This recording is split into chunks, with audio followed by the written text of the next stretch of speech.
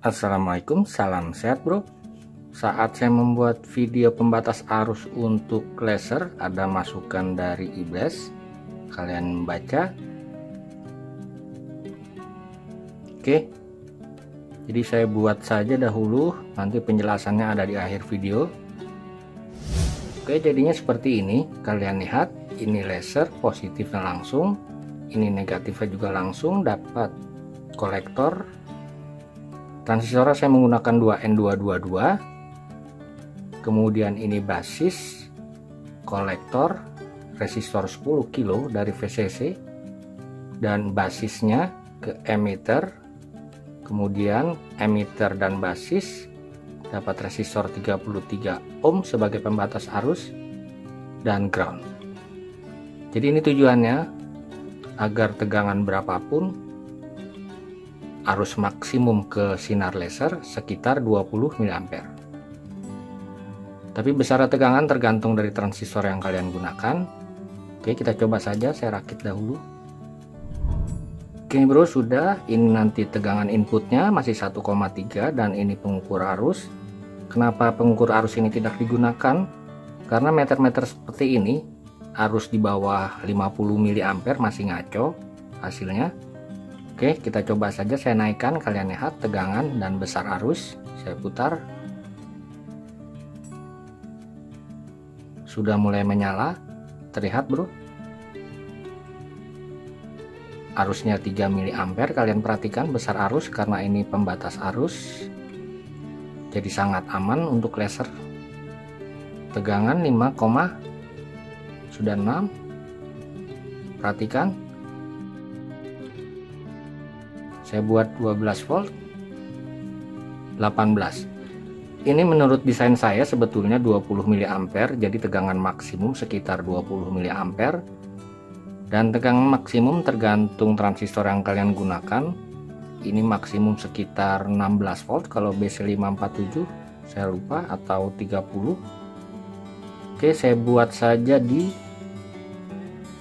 18 Oke saya naikkan saja sampai 24 kalian lihat harusnya arus maksimum sekitar 20 mA Oke mantap bukan? Mantap bro. Lalu bagaimana cara desain dan rangkaiannya khusus para pemula? Oke bro kelemahan ini minimum harus menggunakan tegangan 8 volt jadi rangkaian ini akan bisa digunakan minimum 5 volt. Kalian perhatikan akan saya gambar sambil saya terangkan. Jadi misalkan ini lasernya saya gambar dioda saja ini laser. Oh judulnya dua transistor current sink. Kemudian transistor yang digunakan apa saja lalu R ground oke ini VCC VCC nya mulai dari 5 volt sampai batas maksimum transistor. Saya tulis saja 28 volt. Lalu di sini ada resistor ke basis. Saya menggunakan 10 kilo saja agar yang mengalir kira-kira 1 mili tapi jangan terlalu kecil. Kemudian untuk membatasi saya gambar begini saja. Oke seperti ini rangkaiannya. Terlihat bro. Jadi key 1 key 2 ini bebas.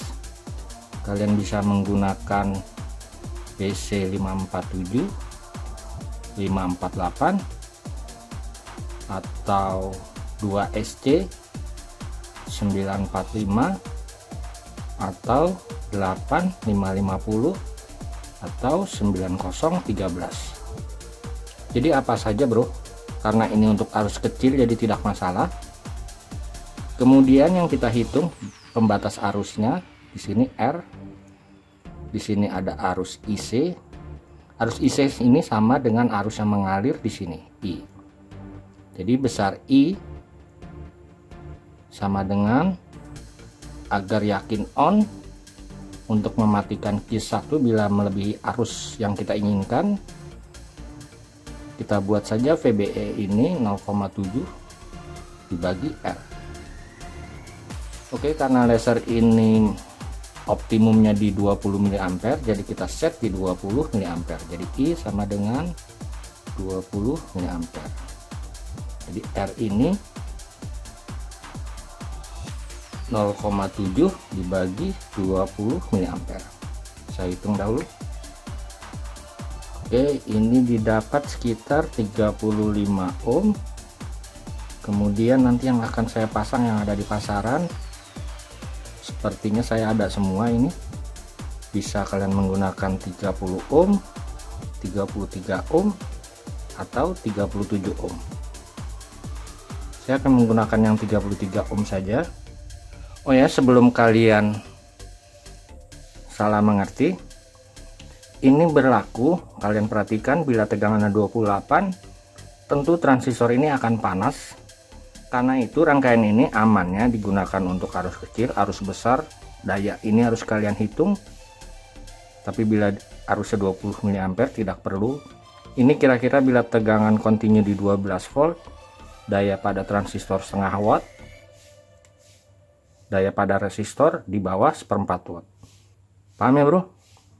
Rumus dayanya bisa kalian hitung P sama dengan tegangan kali arus atau daya pada R PR kalian bisa hitung I kuadrat dikali R.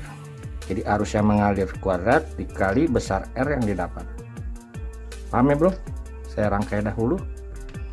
Ini saya lepas Oh ya, saya sendiri di sini menggunakan 2N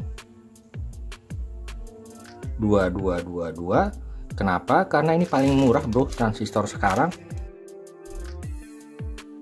Dan pin-pinnya bila 2N222 EBC jangan sampai salah pin-pinnya urutannya. Oke, saya solder saja dahulu kolektor. Ini negatif atau positifnya nanti yang ini agar tidak menggunakan resistor. Paham ya bro? Kolektor saya pasang di negatif. Ingat urutan kakinya EBC untuk 2N222 kemudian akan saya pasang R10 kilo dari positif ke basis agar ada pegangan.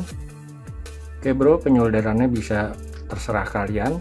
Kalian lihat ini positif input yang merah. Dapat resistor 10 kilo ke basis key 1 kemudian ke kolektor key 2 oke ini sambungannya saya potong dahulu. Kemudian basis key 2 ke emitter. Key 1 lihat bro ini saya potong. Kemudian dari emitter key 1 resistor 330 ohm ke ground. Emitter key 1 ke ground. Oke jadi ini kabel ground. Saya potong. Oke saya tinggal tambah kabel ground. Oke sudah saya pasang kabel groundnya di resistor 330 dan emitter key 2 kalian lihat. Ini sudah jadi bro kita coba menggunakan tegangan kecil dahulu kalau kalian ingin mencoba. Bila sudah nyala artinya bisa kita coba. Saya coba jangan sampai terbalik. Yang hitam negatif. Ini saya menggunakan tegangan 3 volt. Yang positif. Ya sudah nyala kalian lihat. Masih redup 3 volt. Saya naikkan ini di 4 volt ini udah normal sepertinya 4 volt terangnya. Saya naikkan lagi. Ini di 6 volt. Dan ini di 12 volt. Dan ini di 18 volt. Oke mantap bro.